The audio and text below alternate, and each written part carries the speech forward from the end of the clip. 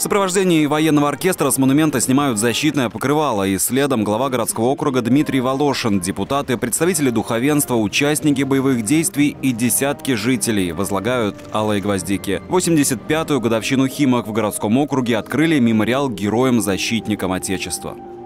Была заложена нами капсула вместе с химчанами, которые волеизъявили так, чтобы здесь был мемориал защитникам Отечества.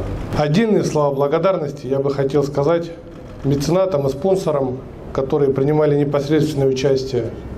Отдельные слова благодарности работникам наших градообразующих предприятий «Энергомаш», НПО «Лавочкина», «Искра», «Факел», и всем тем, кто принимал участие, тем, кто отдал свои голоса. Мемориал изготовлен архитекторами Ставропольского края. Композиция состоит из двух фигур – воина Великой Отечественной войны и бойца специальной военной операции, что олицетворяет связь поколений. Дополняет постамент надпись «Сохраняя прошлое, защищаем будущее», которую выбрали сами химчане путем общенародного голосования.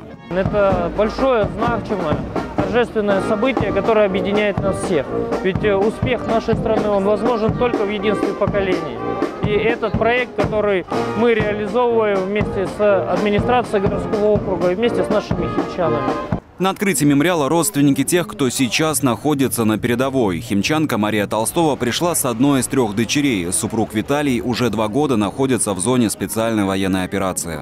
Память должна быть об этих событиях у наших детей потом у их детей, чтобы помнили это все. При создании мемориала архитекторы учли пожелания и самих участников специальной военной операции. Ветеран боевых действий Владимир Коннов начинал стрелком-пулеметчиком. Свою первую медаль получил за спасение боевого товарища, 24-летнего парня из Ростова. Надо знать наших ребят, которые погибли, они тоже герои. Все проливаем кровь, кто-то погибает. Мне вот повезло, спасибо Богу.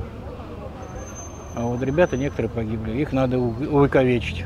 Мемориал героям-защитникам Отечества – первый подобный памятник в округе. В планах – создание аллеи защитников Родины, которая станет продолжением архитектурного ансамбля воинской славы Химок.